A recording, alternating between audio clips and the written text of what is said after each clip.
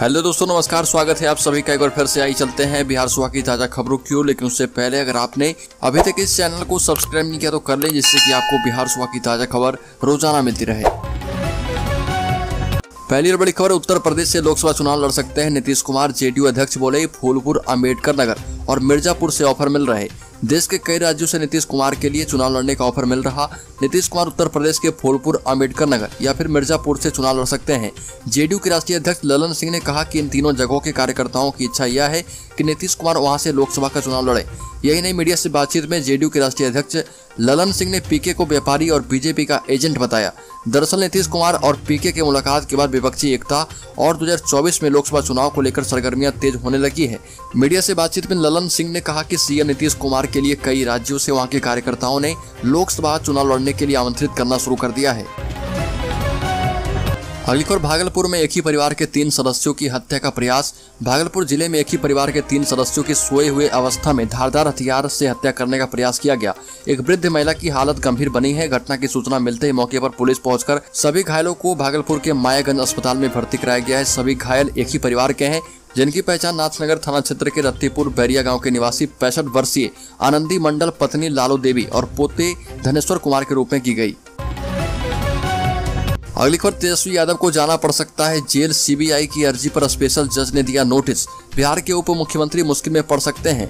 दिल्ली स्थित विशेष कोर्ट ने केंद्रीय अन्वेषण ब्यूरो की याचिका पर तेजस्वी यादव को नोटिस जारी कर दिया है। अगर सीबीआई की याचिका मंजूर हो जाती है तो तेजस्वी यादव को आईआरसीटीसी घोटाले के मामले में जेल जाना पड़ सकता है। समाचार एजेंसी एएनआई ने बताया कि दिल्ली स्थित सीबीआई कोर्ट की विशेष जज गीतांजलि गोयल ने तेजस्वी यादव को नोटिस जारी किया है।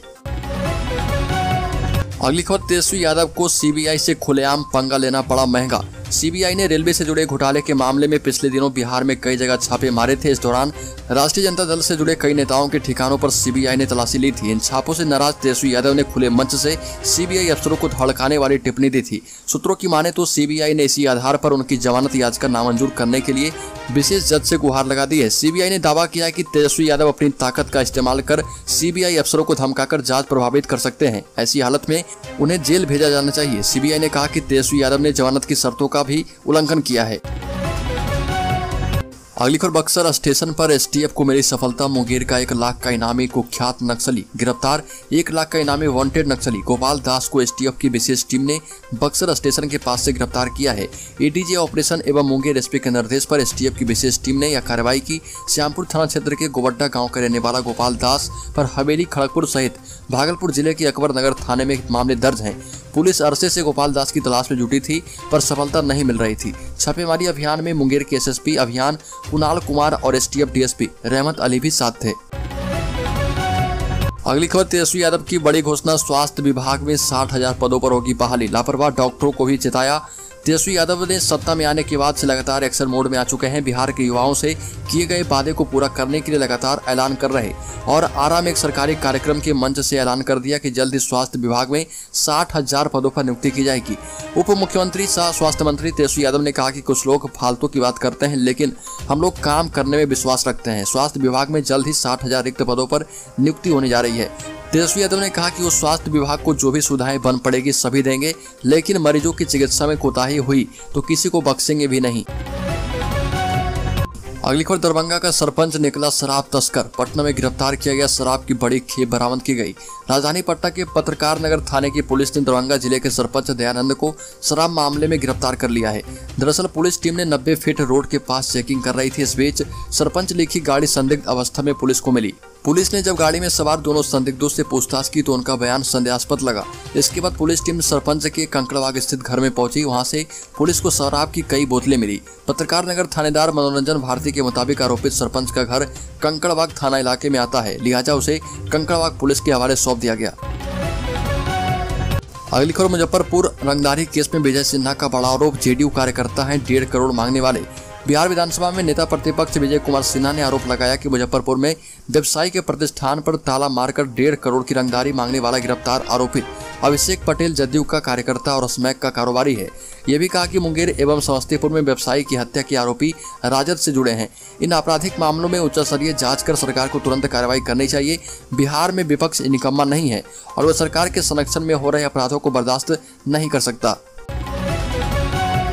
अगली खबर, लखीसराय में नगर निकाय चुनाव के नामांकन में लगे पाकिस्तान जिंदाबाद के नारे लखीसराय में नगर निकाय चुनाव के नामांकन में पाकिस्तान जिंदाबाद के नारे लगे। लखीसराय में वार्ड सात के लिए एक महिला प्रत्याशी नामांकन करने पहुँची थे। उसके साथ बड़ी संख्या में समर्थक भी थे। समर्थकों के बीच में एक संदिग्ध व्यक्ति ने नारेबाजी शुरू किया पाकिस्तान के समर्थन में नारेबाजी करने से नामांकन स्थल में अफरा तफरी का माहौल बन गया। बताया जा रहा है कि नामांकन स्थल पर बड़ी संख्या में पुलिस बल तैनात थे, मगर किसी ने नारेबाजी करने वालों को नहीं देखा। नारेबाजी होने से नामांकन स्थल पर नाराज़ कई लोगों ने आपत्ति जताई। वहीं वहाँ मौजूद मीडिया कर्मी ने इसकी शिकायत कर दी। मामला बढ़ा तो नारेबाज वहाँ से भाग निकला। नारा लगाने वाले व्यक्ति के बारे में महिला प्रत्याशी ने कहा कि उसे नहीं पहचानती है। अगली खबर, दिवाली और छठ में बिहार आने वाले यात्री ध्यान दे। देर की तो नहीं मिलेगी ट्रेन की टिकट। पितृपक्ष खत्म होते ही त्योहारों का मौसम शुरू होने वाला है। इसके साथ ही बिहार से गुजरने वाली ट्रेनों में भीड़ बढ़ जाएगी। यह हर साल की समस्या है। दीपावली और छठ से पहले बिहार में आने के लिए और इसके बाद बिहार से वापस लौटने के लिए ट्रेन में टिकट मिलना असंभव हो जाता है। इस खास मौके के लिए लोग दो से तीन महीने पहले ही ट्रेनों में टिकट बुक करा लेते हैं। अगर आपने ऐसा नहीं किया है तो जल्दी कर लें। यहाँ आपको बिहार से चेन्नई, सिकंदराबाद, बेंगलुरु, मुंबई, अहमदाबाद, दिल्ली, लुधियाना, गुवाहाटी और हावड़ा जैसे शहरों के लिए रेलवे में उपलब्ध सीटों की जानकारी भी मिल जाएगी। अगली खबर, बिहार भाजपा के नए प्रभारी विनोद तावड़े और केंद्रीय मंत्री स्मृति ईरानी आज आ रहे बिहार। बिहार भाजपा के नए प्रभारी विनोद तावड़े पटना आ रहे हैं और उनके साथ केंद्रीय मंत्री स्मृति ईरानी भी पटना आ रही है। विनोद तावड़े भाजपा के नए प्रभारी बनने के बाद पहली बार बिहार आ रहे। पिछले सप्ताह ही विनोद तावड़े को बिहार भाजपा का प्रभारी बनाया गया था। बिहार में महागठबंधन की सरकार बनने के बाद लगातार सियासी उठापटक चल रही है। भाजपा नेता लगातार नीतीश सरकार के मंत्रियों पर हमलावर है। ऐसे में विनोद तावड़े का बिहार आना बेहद खास माना जा रहा। अगली खबर बिहार में भी किसान उगा सकते हैं। चाय मिल रही है पचास फ़ीसद सब्सिडी। आज पूरी दुनिया की ज़ुबान पर असम, गुवाहाटी, दार्जिलिंग और जम्मू कश्मीर की चाय का चस्का चढ़ चुका है।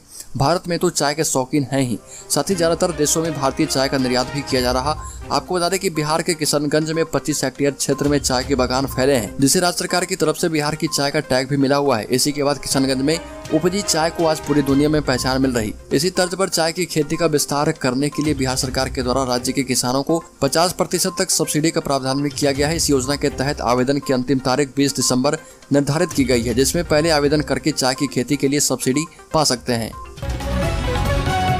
अगली खबर, नामीबिया से लाए चीतों ने तीन दिन के बाद पानी पिया। न पीएम मोदी ने चीते को कूनो नेशनल पार्क के बाड़े में छोड़ा। इसके चार घंटे के बाद चीतों को खाना दिया गया। चीतों ने इस दौरान पानी भी पिया। बाड़े में आने के बाद करीब एक घंटे तक चीते सहमे हुए से दिखे। चीते बाड़े में एक पेड़ के नीचे बैठे रहे। और करीब तीन घंटे बाद बाड़े में बने हिद में जाकर पानी पिया। इसके बाद कुछ दूर छलांग भी लगाई। चार घंटे के बाद उन्हें खाना दिया गया। साढ़े चार घंटे के बाद नामीबिया से चीतों के साथ आई विशेषज्ञों की टीम ने तीन बार उनका चेकअप किया। इससे पहले भारत का सत्तर साल का इंतज़ार उस वक्त खत्म हो गया जब नामीबिया से आए आठ चीतों ने देश की सरगर्मी पर पहला कदम रखा। प्रधानमंत्री मोदी ने कूनो नेशनल पार्क में बॉक्स खोलकर दो चीतों को क्वारंटीन बाड़ में छोड़ा था। रिकॉर्डेड भाषण में पीएम मोदी ने चीते भेजने के लिए नामीबिया का आभार माना। पीएम मोदी ने चीता मित्रों से कहा कि कूनो में चीता फिर से दौड़ेगा तो यहाँ बायोडाइवर्सिटी बढ़ेगी, यहाँ विकास की संभावनाएँ भी जन्म लेगी, रोज़गार के अवसर भी बढ़ेंगे। अगली खबर, पूर्वी लद्दाख में तीन किलोमीटर पीछे हटी चीनी सेना नई सैटेलाइट इमेज से खुलासा किया गया।